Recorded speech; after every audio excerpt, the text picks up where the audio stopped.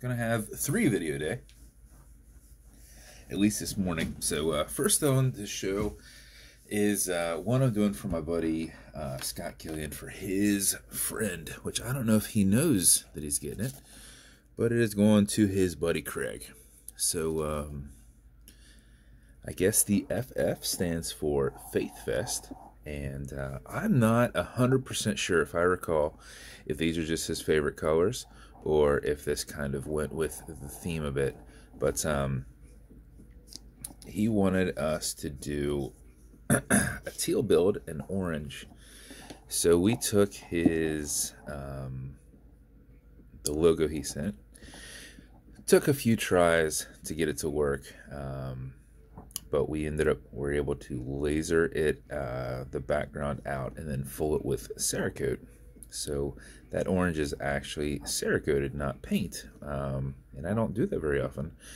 So um, that was the way that we were able to gauge whether we were lasering out far enough. Is because if my guy could Cerakote in there, then it would work. So um, he tested it, was able to get it in there, and I was like, actually, that looks really good you don't need to uh, you don't need to remove that so just bake it and uh, send it to me so um, went back around and pipped it. And um, which the pips actually look really good because they flow right into that orange. You almost can't even see that they're in there. But they are. That's pretty cool.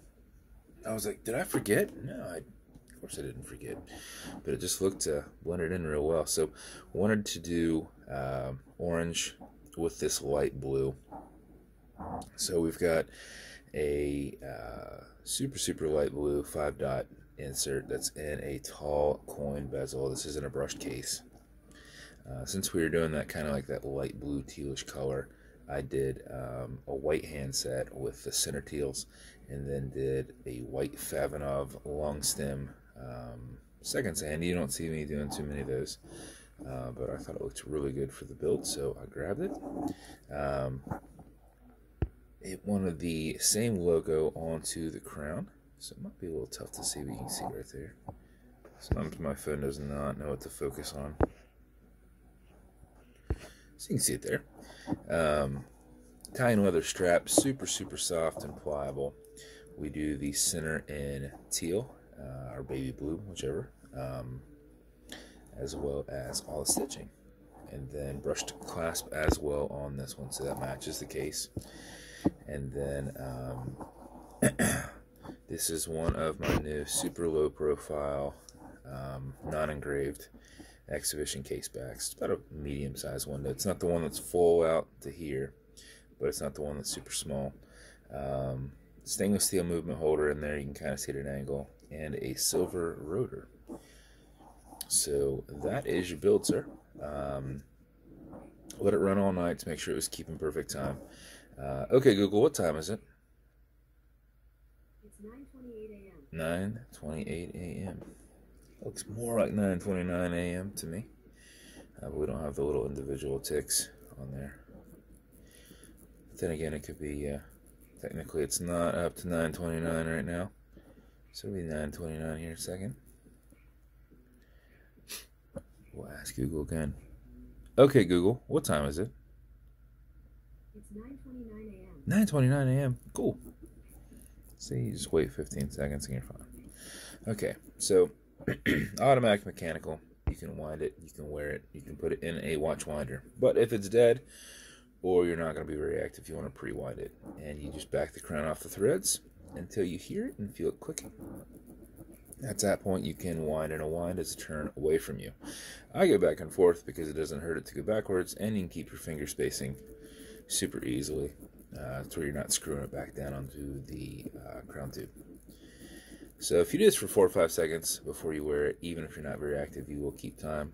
And if you do it for something closer to 30 seconds, you are going to max out that 31 plus hour power reserve, which is what I do uh, since I'm not wearing around the watch. I just wind it and then check on it the next day. if you pull it to the one and only click, click, you can see and feel the play. You've got a wobble crown that will deflect lateral pressure from going into the stem into the movement. Uh, it will basically just kind of roll with your pushing and pulling on it. So, or just pushing on it. If you pull on it, you won't have that. Um, and that's how you set your time. Okay, Google, what time is it? It's 9:30 a.m. 9:30 a.m. Push it right back over and thread it back down. Also to note, this is a unidirectional bezel. You can turn it left, you can turn it right. I just put it on there decently tight to where it's not going to move. Uh, whenever you go to set it back up, just, just kind of look at it and get it aligned. It's we'll kind of play tricks with your eyes. Sometimes you look at it and go, oh, well, then this is lined up, but that's not lined up. Or, well, that's not really possible. But um, that's it. That's your build, man. I hope you like it. Um, if you ever feel that one of these is sticking and, until they get, see how close they are. If you can see, it does kind of get caught just a little bit there. If you're ever trying to wrap it around there, if you're putting it on your wrist, it's going to be fine. But if you ever feel it gets stuck, just give it a tiny little pull. That's all. And then it will. See, like right there, it's getting a little tough. Back the camera up. Back up. All right. See, that kind of sticks right there. If you pull it just a little bit now, it will fan it out of here. That's until it gets worked in, but doesn't take much movement at all to get, get us where we want to go. As with every build, comes with matching beads, complimentary. Um, you're going to have one of my special edition boxes, since it's a custom dial. And then you're going to have your build and warranty cards inside here. Also, a couple of my business cards. Uh, every build comes with wash cleaner. This is good on all glass and metal parts. So everything here in the center, non-toxic, non-residue, non-streaking. You're also going to have some leather conditioner. This keeps that that leather strap perfectly soft. Um, if you ever um, feel it getting a little bit rough at all, just uh, flip it over, put it on the back probably first because that's where you're going to feel it. Um, just let it soak in and uh, remove any excess a little bit will go a long way. And then lastly, you have an acrylic glass and a can scratch, but you've got some Novus 2. This is uh, from Amazon. We just repackage it. Uh, it's kind of like a poly watch.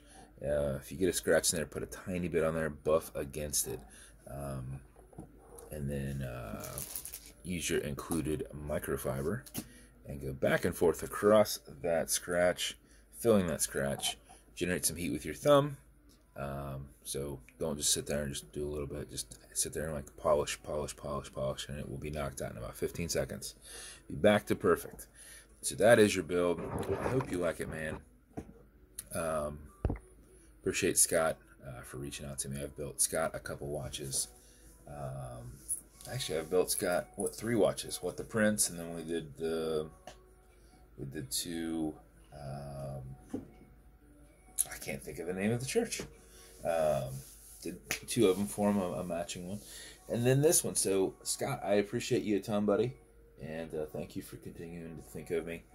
And uh, I hope your friend Alexis. So um, once again, I appreciate you guys. And uh, if you want me to build you something custom and unique, reach out and I'll see what I can do. And uh, if you want to continue to see videos like this, like and subscribe as I put them up all the time. Thanks, guys.